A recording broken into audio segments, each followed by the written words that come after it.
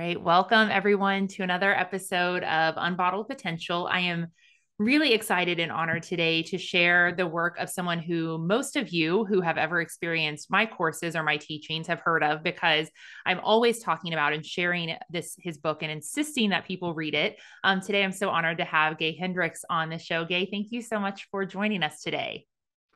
Thanks a lot, Amanda. It's my pleasure. Yeah, well, I'm going to give a proper introduction that I'll record after this, but I would love for you just to share um, with everyone a little bit about your work and what your life's purpose is. Why are you here? Well, my life purpose is to expand every day in love, creativity, abundance, and life happiness as I inspire other people to do the same. That's been my life purpose for more than half my life now, and that's been basically what I've been doing in one way or the other. Uh, in the beginning, I was a university professor at the uh, University of Colorado for a number of years, teaching in the counseling psychology department. I taught people, you know, how to be counselors and therapists, et cetera. And I did that for 21 years. And then Katie and I, Katie and I have been together for 42 years now. So again, more than half my life, we've been working and playing together. Um, she's also a psychologist. And so we began working with couples in the 1980s. And then at the end of the 1980s, we sat down and wrote a book called Conscious Loving and to describe the work we were doing with couples. And uh, up and coming young talk show host named Oprah Winfrey called us and said, Hey, I've heard about you guys. Come on my show. And so, next thing you know, we in our book Conscious Loving are out in Chicago uh, taping Oprah, and sort of life changed after that show came out. Actually. I bet it was like I, uh, we were selling, you know, like I think they said they we went from selling ten thousand copies uh, a month to selling ten thousand copies an hour, oh, and wow. so it really changed our lives and and led to me deciding uh, we set up our own institute. I, uh, as a university professor, I enjoyed it, but there were some things that I didn't like about it. You know, like at one point we had to give people a 500 question multiple choice test, you know, mm. and my position was what are counselors, therapists, social workers, why do they need to take a 500 question, uh, you know, in statistics? They had to take a whole year of statistics. And so here at my little private university, we only teach things that people really need to know. And so when you come here and work on one of our counseling uh, certifications and coaching trainings, you get a lot of training, but only in stuff that you absolutely need to know. Oh, that's so beautiful. And I will tell you, as someone who has read many of your books, inclu- including Conscious Loving, that these are concepts that everyone needs to know and everyone can benefit from. So, just as much as maybe being on that little show in Chicago with this gal named Oprah changed your life, I know that the work that you are putting out there has has multiplied and changed so many others because these concepts are so important and your relationship with Katie is just such a beautiful model for what a great relationship can be um you know based on what i know from hearing you speak and hearing you write. Would you speak to your relationship a little bit with her and how that's like how um that's evolved over time? Yes. Well in my teens and my 20s i did probably what a lot of people do, which is had a lot of different kinds of relationships. And it took me a while to notice, but my relationships I described eventually in my 20s, I began to wake up to, hmm, why don't my relationships ever ever go anywhere? Or, eh, you know, I I'd had my heart broken a couple of times, so I was probably resistant to getting into a deep loving relationship again. But anyway, during my 20s, I created a lot of unsatisfying relationships. And I always say my relationships in my 20s had the trajectory of the Titanic. They would all start out with a great deal of fanfare, and then I'd hit the iceberg after six months or so. And it took me many years to realize that I was the iceberg. There was no iceberg out there. And I I had a big wake up moment I was in a relationship on and off for, well, from about 1975 to about 1979 with a wonderful woman, but we kept having the same arguments over and over and over again. And on this one magic day in 1979, I had a wake up moment. I realized that we weren't, we were in the middle of an argument. And I realized, oh, this isn't our 500th argument in the last four years. This is our 500th version of the same argument. And that was like a, oh, uh, a wake up moment for me. And, and I, I, I was standing there. I can even remember where I was standing in the middle of her living room. And we'd been having this argument. And I, I kind of went silent. And I had this realization oh, our arguments always follow the same pattern. And then it just downloaded what the pattern was. One of us would fail to tell the truth to the other one about something maybe as simple as, you know, if the other person says, Are you mad at me about something? And you say, No, you know, like that kind of thing. uh-huh. um, if one of us didn't tell the truth about something, we would then get into an argument later on. So I mm. realized that wow, what if we had a relationship where we committed to speaking honestly to each other? And that was our main commitment. And then the second thing it dawned on me oh, I create conflict in this relationship. When stress comes up, I go into the victim position and blame her for causing the problem. And she does the same thing. She then goes into the victim position and mm-hmm. blames me for everything. And then we go round and round as two fellow victims, both of us thinking we're the victim until somehow we, you know, sleep it off or uh, make up and kiss and make up or buy a major appliance or something that gets us back together again. And so that was, oh, the third thing I had during this little, it was like a 10 second insight. One was honesty. The second was taking responsibility or versus blame.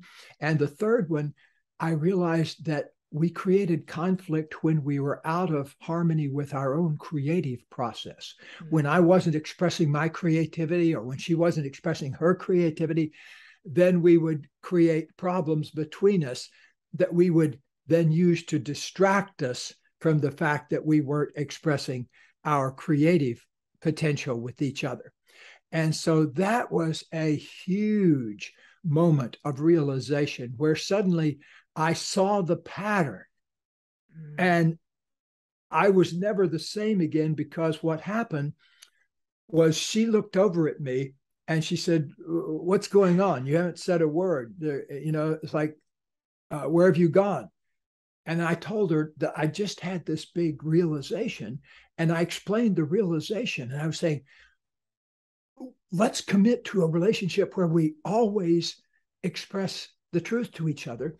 And let's commit to a new kind of relationship where we take responsibility instead of going for the, the victim position. We say, hmm, why am I creating this argument with you right now? Mm-hmm. And the third thing was, let's both make a heightened commitment to our creativity because if we did that, we wouldn't even have time or urge to have a conflict with each other. And I expected her to jump up and down and say, Yes, let's do that. That seemed like the best idea I had ever come up with. And to my great surprise, she said, No. oh. And I said, What? And I said, Why? And this was really a stunning moment for me. God bless her for being honest. She said, I don't want to do that. I only want to be in this relationship if we can agree that things are your fault, that you're the problem here. and that blitzed my mind because I had sort of secretly feared and and thought that, but I had never come right out and heard anybody say it. You know that that she was only willing to be in the relationship if she could be right all the time, and that did not appeal to me at all. It sounded so off that that was kind of the end. Well, there was one other thing that happened. I went back to my cottage that I lived in at the time, which was on the back of the property where her house is, was on the front part of the property. So I went back to my little cottage and I just hung out there getting really clear about what I wanted in a relationship. And I named the three things. I said, okay, I want a relationship where both of us are absolutely honest, where both of us take responsibility rather than going for the victim position, and where both of us commit to our creativity and really support each other in going all the way to our full creative expression. That was my dream. I was 34 years old at the time, and I'd never had anything like that in a relationship, but that just kind of appeared to me. That seemed to me what I really wanted.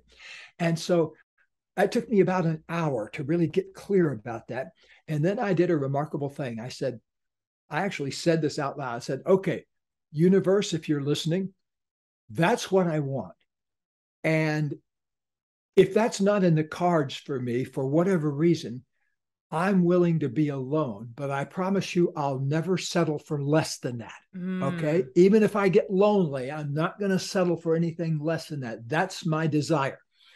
So it was one of the first times in my life, I think, where I really got clear on what I wanted and took a stand for that and made a commitment to it. Well, the most amazing thing happened. Carol, the previous woman, came to the cottage after a couple of days, uh, came to my front door, and I, I said hi, and and she said, um, "Okay, I'll agree to that." And, I, and something funny sounded about it, you know, the way she said it. And I said, Well, is this something sincerely that you want to create, or are you just saying that? And again, bless her heart for her honesty, because she kind of took a big breath and she said, No, I don't really believe that, but I'll do anything to get you back. And that was like alarm went off in my brain like a siren, you know. And I realized, man, I'm not there anymore. And so I ended this four and a half year relationship pretty much right there on the spot. And, you know, we had stuff we had to unwind. We had a piece of property we owned together and stuff like that. But that really was the end of the relationship. And then what happened, the great payoff is the next month, I went to California. I lived in Colorado at the time and I was a professor there at the university. And I went out to California to Menlo Park to the Institute of Transpersonal Psychology to give a talk and do a weekend seminar, which I'd done there many times before. As I walked into the room, there was about maybe 50 or 60 people there. There was all the faculty and 50 students and the head of the uni- head of school and everything. And they were all there to welcome me and uh, get things going. And I saw this woman across the room from me, and she just had this amazing aura to her. I don't claim to see auras, but she just had this special glow. It was like nothing I'd ever seen before. And so as we went around the circle, um, then, uh, you know, introducing ourselves, I kind of made a note that I really wanted to talk to her during one of the breaks. And so during the first break, I got my wish came true because she came over to ask me a question. And she was one of the professors there at the school, as well as getting her PhD there. She was trading teaching there for part of the tuition mm-hmm. for her school and for her PhD.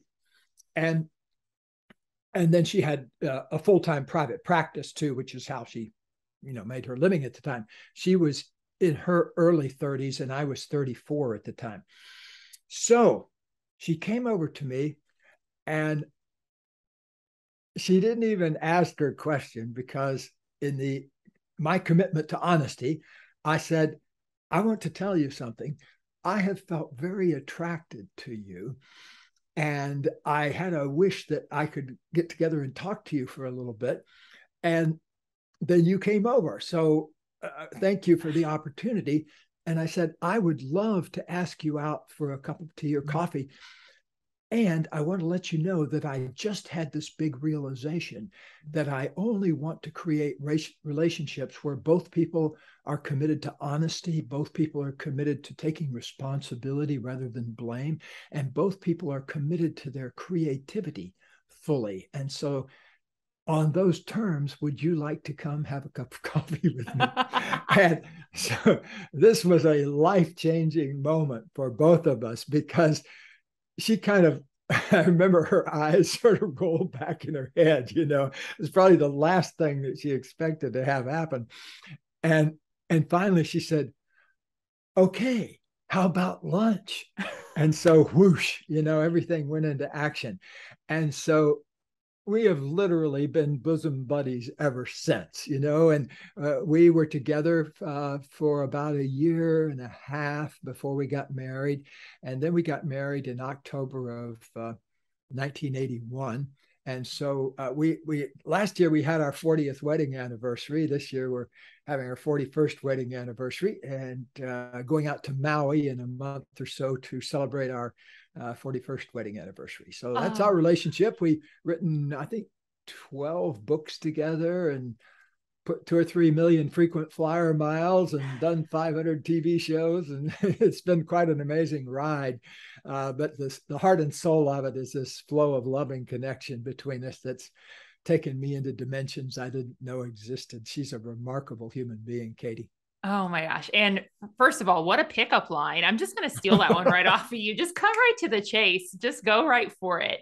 Go and, right for it. It worked for me. Oh man, I love it. And I just, you know, even if we, I don't share this whole video, I'm going to share this one.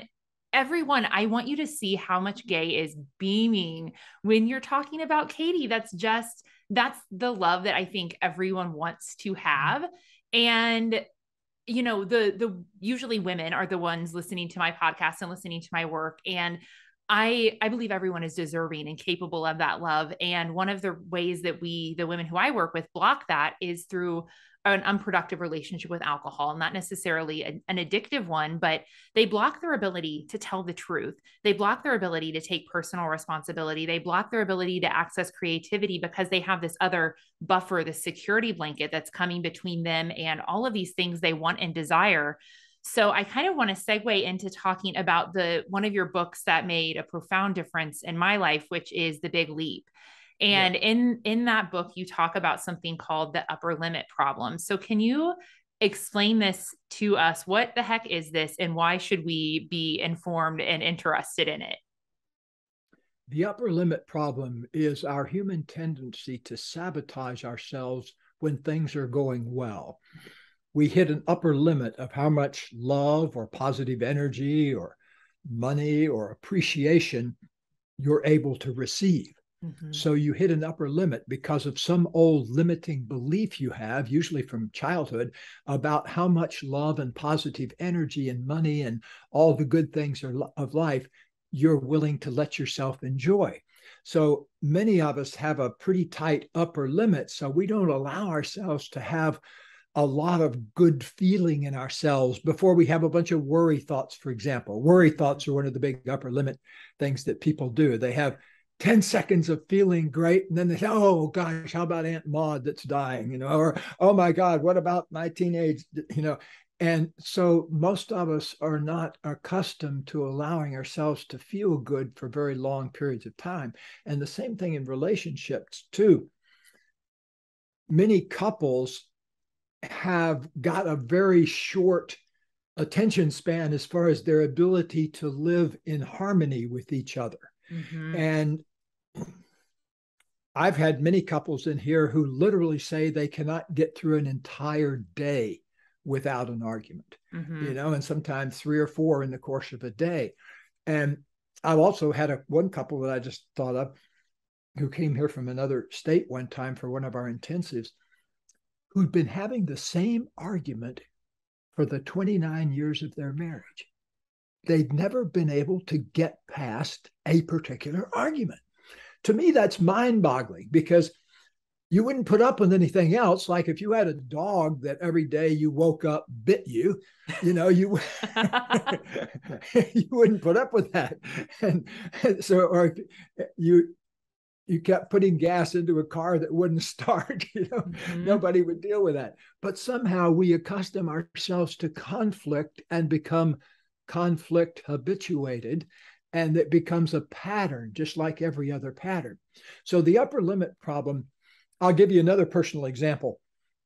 I used to be obese, and when I was 24 years old, I lost a whole bunch of weight. And so I lost 35 pounds the first month. I changed my eating habits completely. I started eating fruits and vegetables instead of cheeseburger, french fry, vanilla malt for lunch every day. Cheeseburger, french fry, or some days I would break it up two hot dogs, vanilla malt, and French fries. Um, that was lunch. And so I quit doing that. I started having things like salads. And uh, I remember the first thing I had when I started this night was a bowl of blueberries that tasted so good, but I would have never eaten something like that before. But anyway, I lost 35 pounds the first month and I was feeling better than I'd felt in ages. And I went down to uh, downtown Cambridge, Massachusetts, Harvard Square, and I was walking toward the bookstore where I was going to get some books. And I passed a Brigham's ice cream store. That was kind of the upscale ice cream of the day. I don't know if it's still there in Cambridge, but uh, you know, there were the ones like Baskin and Robbins, but Brigham's was the one, you know. And so um, I looked in that, just cast a glance to the side, and there's a family of four in there devouring this big banana split with three different kinds of ice cream and everything. And I just went into a trance the upper limit problem struck. I reached my upper limit of how good I could let myself feel. And I just went into that store and I ordered one of those. Not for a family of four, though, for a family of me. And I just ate that thing in about 20 minutes. And for a while, like for probably 20 or 30 minutes after that, I felt like a million dollars. You know, all that sugar was coursing through. You know, I'm humming along, walking down the street. And then I got hit by the worst stomach ache. I was actually doubled over in the street, and people were saying, Are you okay, mister? And when all of that toxicity, the sugar and everything finally hit my digestive apparatus, whoop, I went into this huge um, set of cramps and stomach aches and everything that made a big impression on me because I realized, you know, 20 minutes before I was feeling organically good. Mm. And then I sabotaged myself. Fortunately, I got back on the wagon, so to speak, and I started uh, eating my healthy new diet again and ultimately lost the weight uh, and kept it off for the past 50 years by and large. I'm uh, about six feet tall and I weigh about 180, 85 pounds now. So I look tall and athletic, but I definitely did not look tall and athletic uh, back in those days. I looked like a, a pear shaped intellectual, which is what I was mostly, never exercised or anything like that. Now I'm totally exercise crazy. I work out with uh, resistance training three days a week with a trainer and play golf three or four days a week and swim in our pool and everything. Because I think that you know, unless you think of yourself, your human body as a temple and an instrument, you're not getting the most out of it. Mm. If we think of our mm. human body as just something to drag us around from place to place, we're not maximizing the possibility of being human. So I keep my attention all the time on two big things in me. Am I feeling a flow of good, loving, creative energy in my body? And number two, am I feeling of love, a flow of love, positive energy with my mate and the main people around me?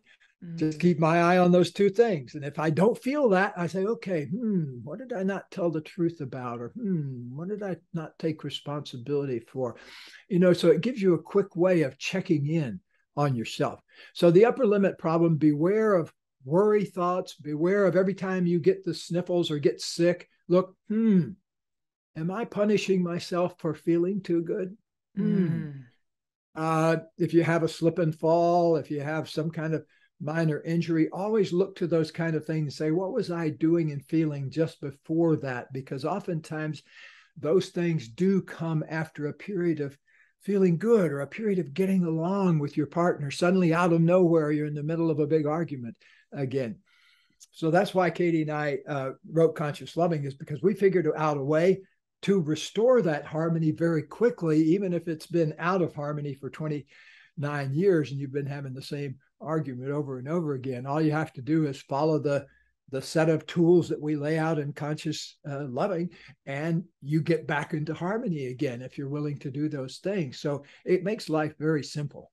Yeah and it's i mean this is it's a beautiful book even for people who are single. It's i think it's just important to understand how to have that type of relationship. But something you said about you know being in your state when you were you were overweight and you were you know kind of on the cusp of getting ready to make a change the it's very similar to the type of woman who I work with because she's on in this area where she's maybe like emotionally overweight. She has a lot of emotional stuff that's coming up, and maybe she's not eating it away, but using alcohol as a, as a lubricant or as a crutch. And I don't really think that you can Uh, you you may disagree but i think it's really difficult to even get to your upper limit problem if your baseline of life is just not feeling good and is always yeah. numbing and is always checking out. So can you maybe speak to i'm kind of throwing you a curveball here like how like what do you have to get out of the way before you can even reach your upper limit problem? Well let me speak personally for a moment. I wouldn't be here except for the fact talking to you this day, except for something I also did around the same time as I figured out the main things I wanted in relationship. Mm-hmm. I came up with, um, I made a list of three, what I call three absolute yeses and three absolute no's mm. about what I wanted to experience in my relationship life. Mm-hmm. The three absolute yeses, I already said, I want honesty. I want to have a person who's really committed to being honest. I want a person who's really committed to taking responsibility rather than blame. And I want a person who's really committed to her creative process.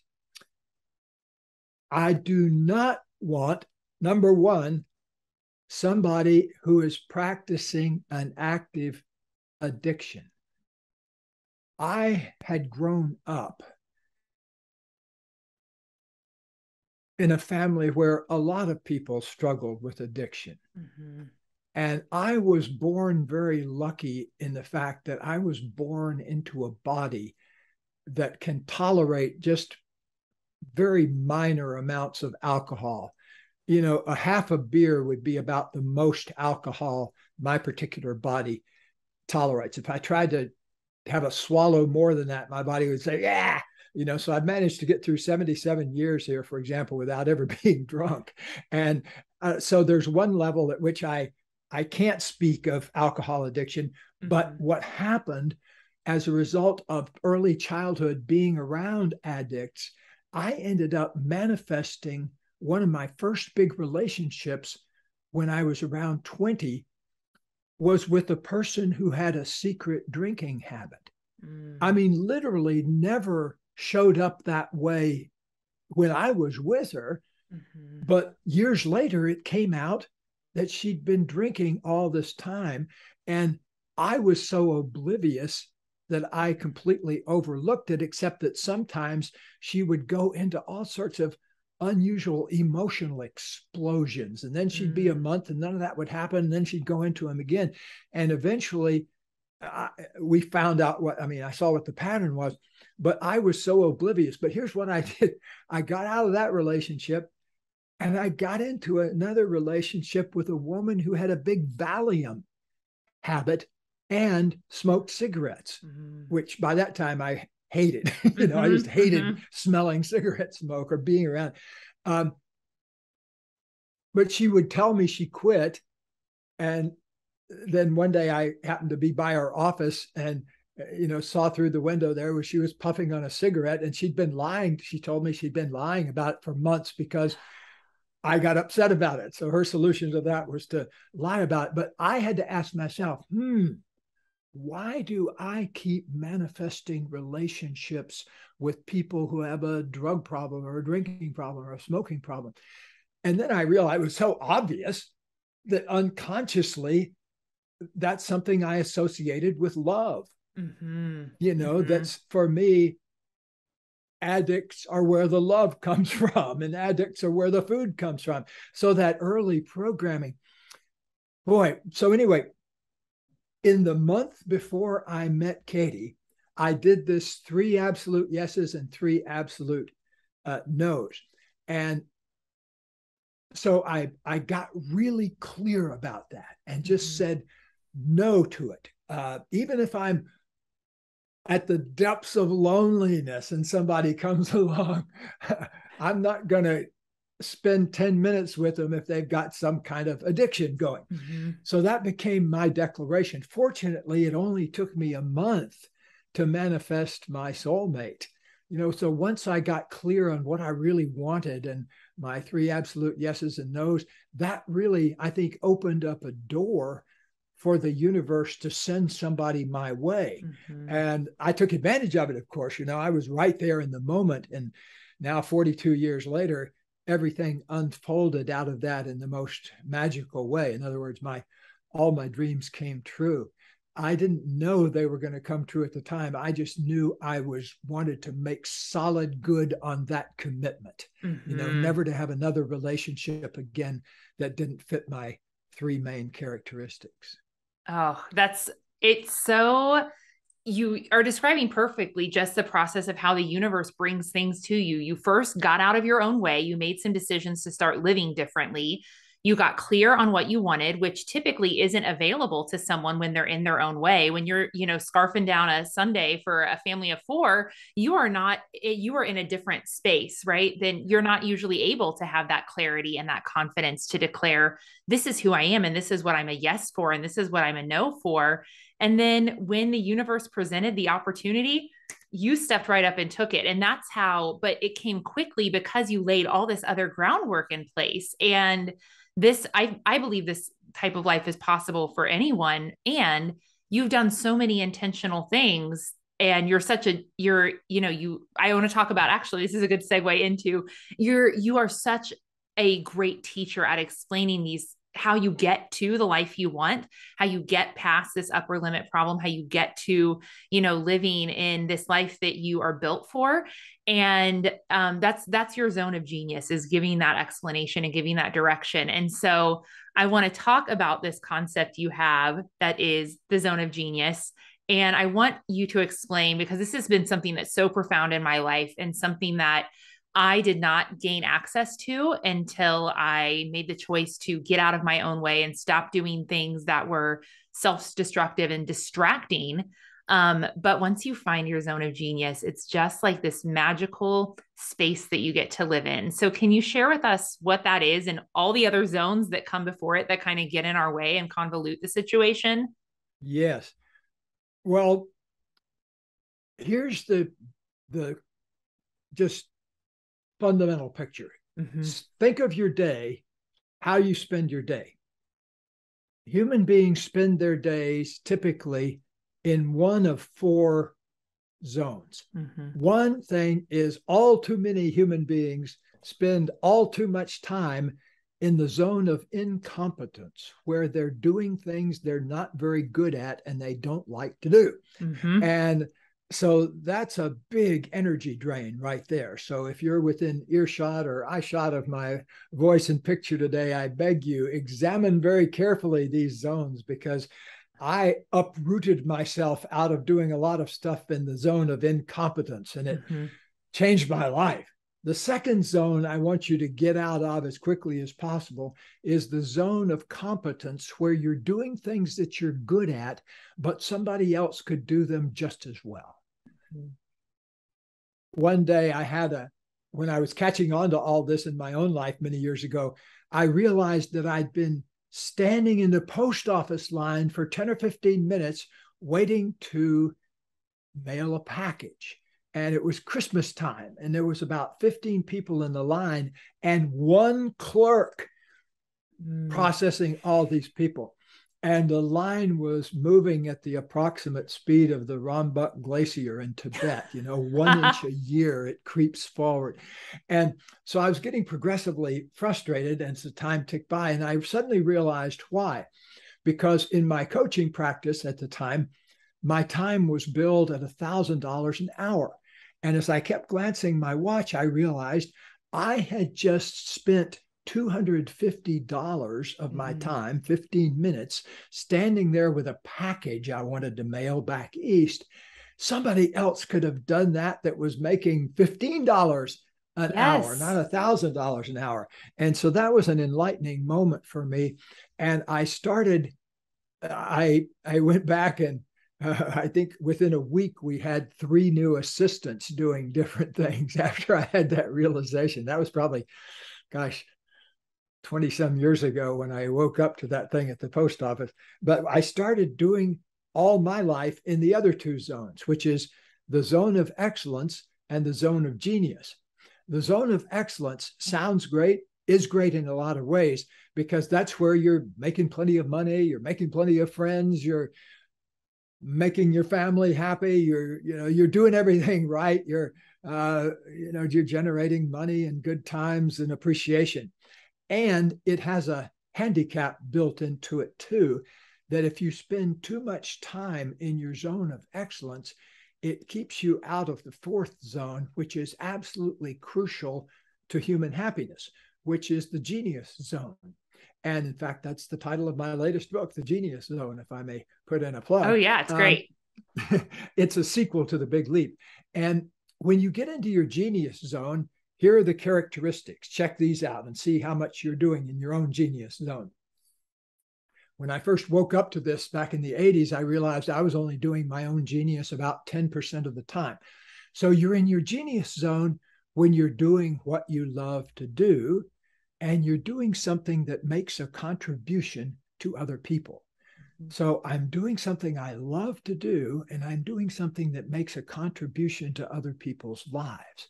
If you will start looking at your life through that lens all the time, every day, to what extent is this hour I'm spending right now doing what I love to do and what makes a contribution to other people's lives.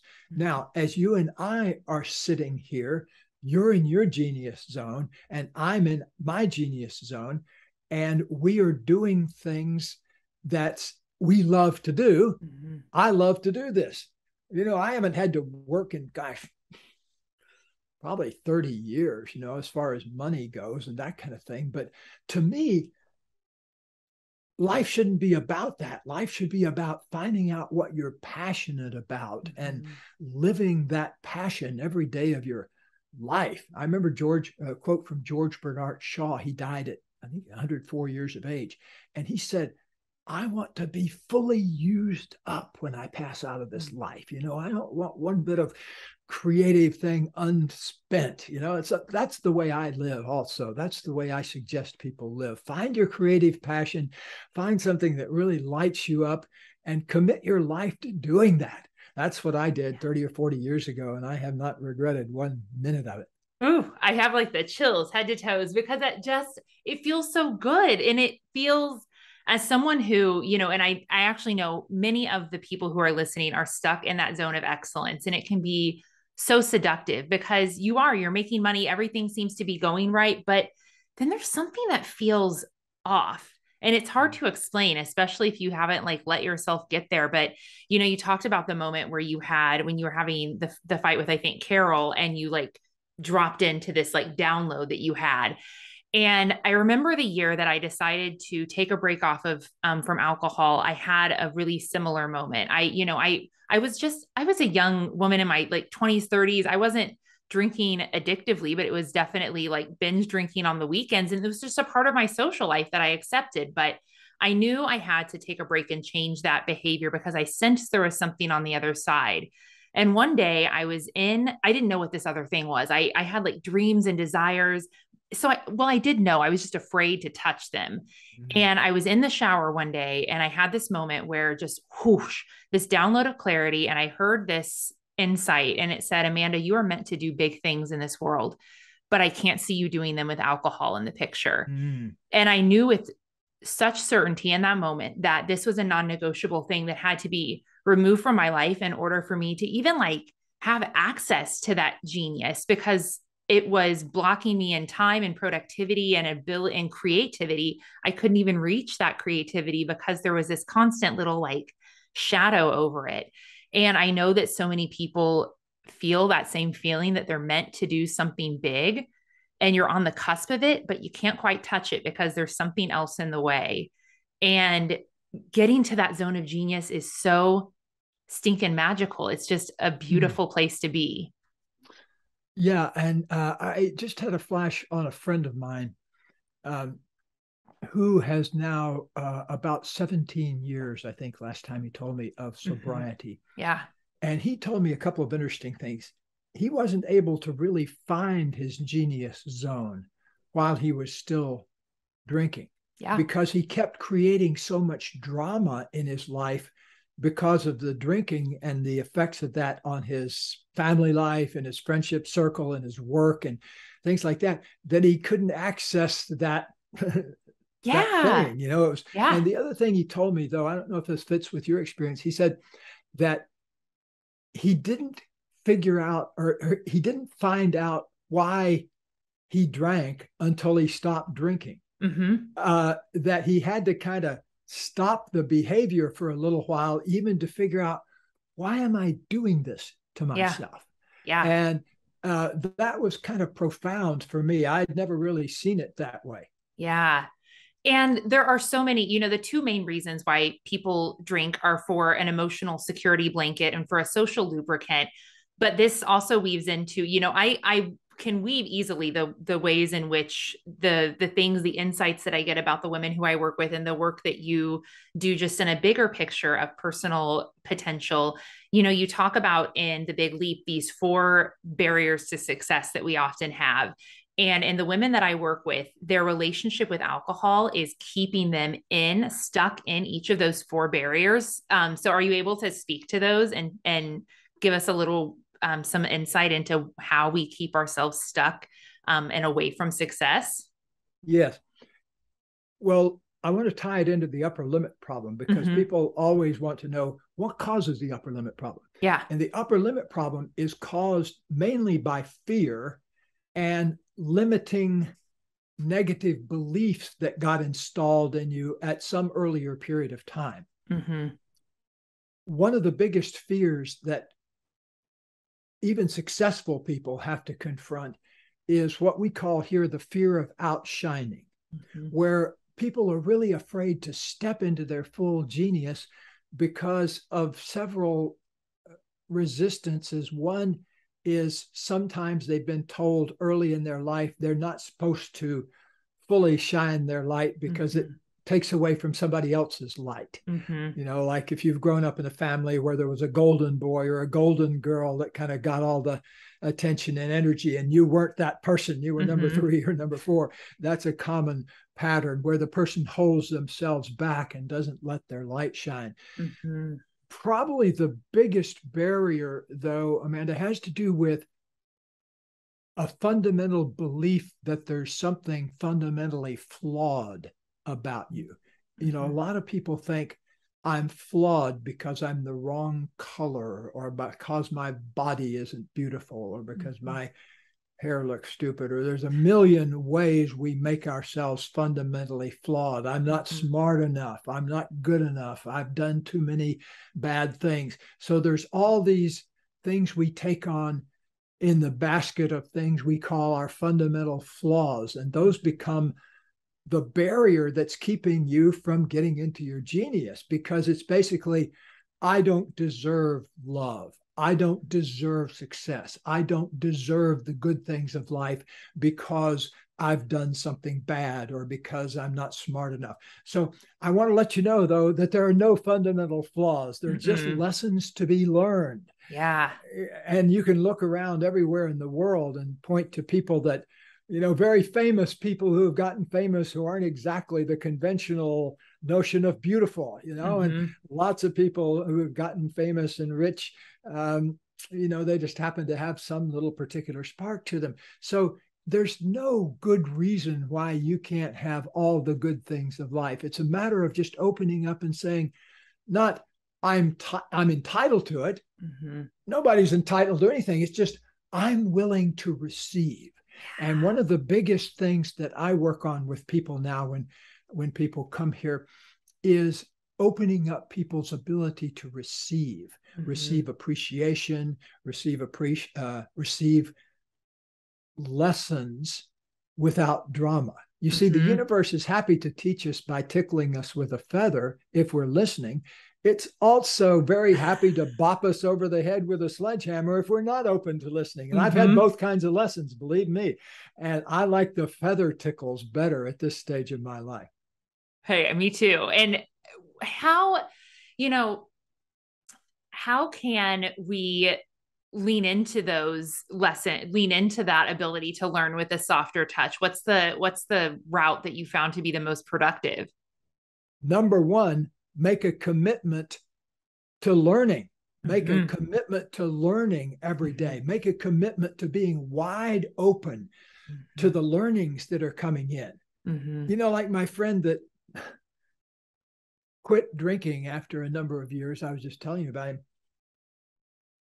this is bizarre. I still can't believe this. But he had a bunch of drinking buddies. And two of those guys tried to actually restrain him from going to his first AA meeting.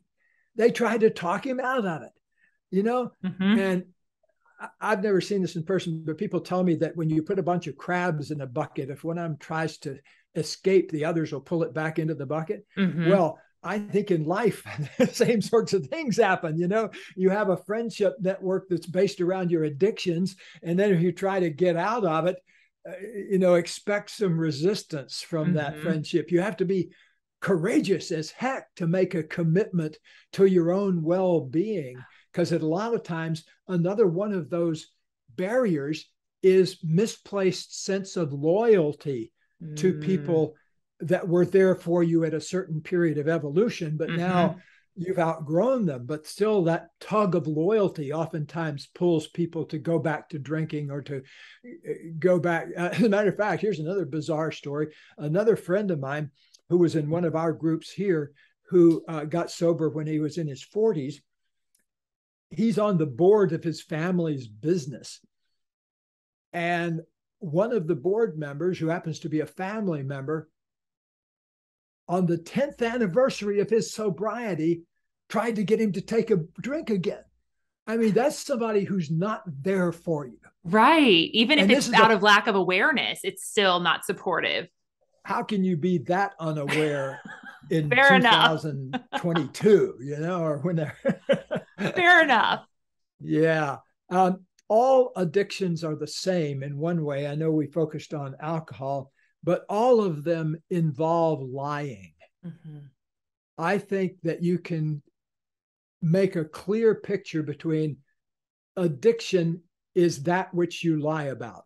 Mm-hmm. If it's food, mm-hmm. If it's drink, if it's mm-hmm. smoke, if it's t- uh, tobacco or cannabis or whatever it is, if you lie about it, I suggest you look at it as an addiction mm-hmm. because you're you're trying to rearrange reality to fit your own perceptions. Mm. Bad move. Yeah, uh, it doesn't work that way. Um, Frank Zappa, the great musician from back in the 60s, says, In the war between you and the universe, bet on the universe. Yes, yes.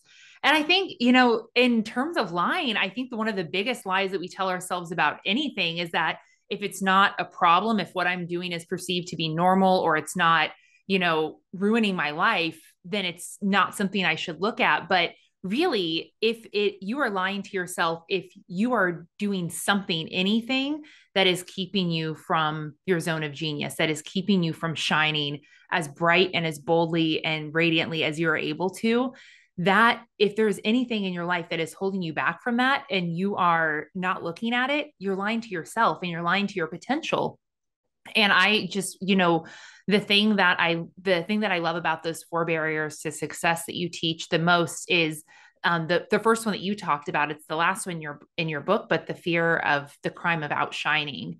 And you know, with any of those barriers to success, one of the easiest ways to keep ourselves from achieving success is to keep yourself small and and through that is an addiction or a habit or any habit that's not optimal and the the the thing that i felt the most when i read through those those four barriers is you know you're meant to shine you're meant to be in your zone of genius you're meant to do this thing that only you can you have been put here to do but it's scary. It can be really scary to get to that place. Why do you think it's so scary for people subconsciously, even to be in their zone of genius, to have that which they truly deeply desire and were put here to express?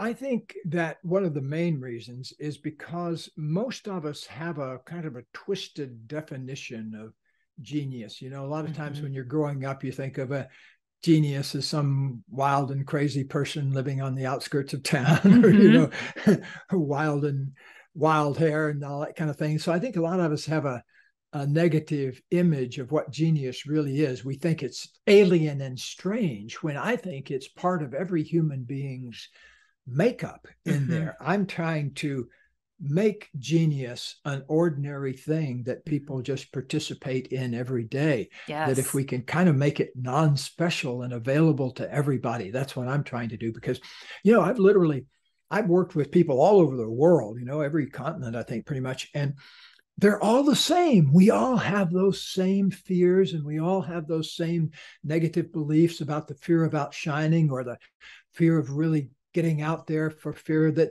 there's something fundamentally flawed with us. You know, interestingly enough, Amanda, I had, it doesn't matter what level of success you're at. I actually had a fellow call me, an entertainer call me that was having a panic attack. And I had met him before, and he lived down the beach from us when we lived over at the uh, on the ocean. And he was having a panic attack and he wanted to come over to my place so I could work with him, which he did.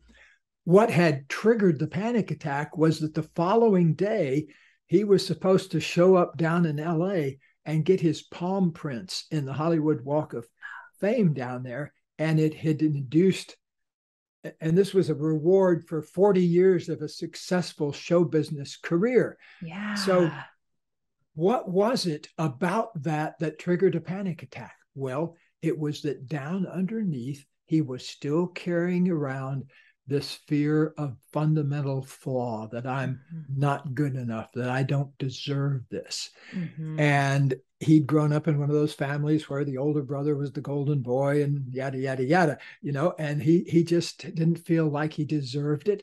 And so he was actually considering calling in sick and not going down to do the palm prints and the concrete. So we spent an hour just working on this and so I'm happy to say he made the trip down. Oh. And uh, but it's interesting, isn't it, that a person at a very high level of fame mm-hmm. could have the same kind of anxiety that a person just starting out. Like uh, another one of my uh, friends now, she was deeply afraid of public speaking. Mm-hmm. And so I encouraged her to go to Toastmasters and other things that that uh, deal with that issue and on the morning she was going to do her first two minute Toastmaster speech, she came up with a sore throat. Hmm. And so she was going to call in sick. Fortunately, she called me. And I said, okay, let's look at this as an upper limit problem. You have the opportunity to do your first speech here, and suddenly you got a sore throat hmm, let's go into that a little bit. So I had her kind of breathe with it and figured out. And again, it was one of those deep fears that just came to light when we're about ready to express ourselves fully. Mm-hmm. And one of those four old fears that we've talked about. And an hour later, she had no more sore throat. She was giving her speech, did great. So beware of things like uh, I'm not saying that every time you get sick is because the upper limit problem, but, totally. But look into things like that because, especially if you have chronic things that keep happening, mm-hmm. you know, if you tend to get three or four colds a year or uh, something like that. And so, because I've had a lot of people uh, who write me, uh, I always say I have the best inbox in town because of the big leap in the genius zone. Every day I wake up and some entrepreneur somewhere has uh, uh, written me a fan letter saying I I used the big leap or the genius zone to whatever, and uh, so I I get email a lot of times from people who have transcended one of these old upper limit glitches and now are doing something remarkable in the world. And I want to make that an everyday happening for everybody in the world. That's what I've dedicated my life to. And nothing makes me happier than seeing somebody like yesterday. I was one of one of our uh, graduates uh, has manifested a 60 acre farm that they're turning into a wellness center and you know i saw the beginning of that dream and now i'm seeing the dream come true and they're talking to me yesterday on video sitting in their place down there. And so I love that so much because at this stage of the game, you know, all my dreams have come true times 10, times mm-hmm. a thousand. And what turns me on more than everybody else is seeing them make their dreams come true. Oh, well, how can we help you live out that message more? I would love to know you know, I wanted to talk about the Genius Zone, but here's what I will say to you all. Please go read The Big Leap. Please then read The Genius Zone. They are both tremendously helpful and inspiring books with such simple yet impactful messages. Gay, how can we support your work? Is there anything upcoming we can do in addition to reading your books? Give us the rundown oh. of how to support that message and mission you have. Sure, thank you. Well, uh, go to hendricks.com. There's a ton of stuff you can do there. We have trainings, we have consultancies, we have all sorts of, we have a few hundred coaches that we've trained around the world. So there's all sorts of things at hendricks.com, H E N D R I C K S.com. Uh, the big thing you can do for me is just live a little bit more in your genius zone every day, everybody. Just make a commitment to expanding your genius a little bit every day, because that'll make you wake up with life as a genuine possibility. Because uh, down inside there, I know there's that spark that wants to be brought forth. And if you bring it forth, you have a great chance of uh, being happy in this amazing world we have.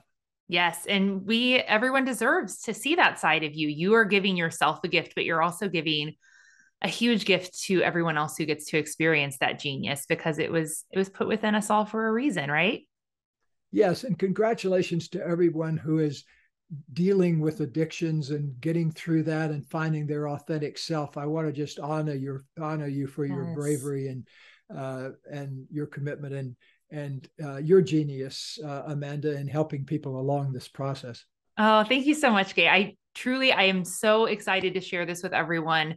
There you you are just a light in this world and I love to watch you continue to light up after doing this work for for it's your life's work and you it's still lighting you up and you can truly see that through looking at you and hearing just the tone of your voice when you talk about your work and your love. And we are just so lucky to have you on this planet and on this show today. Thanks. Great being with you. All right. Thanks so much, Gay.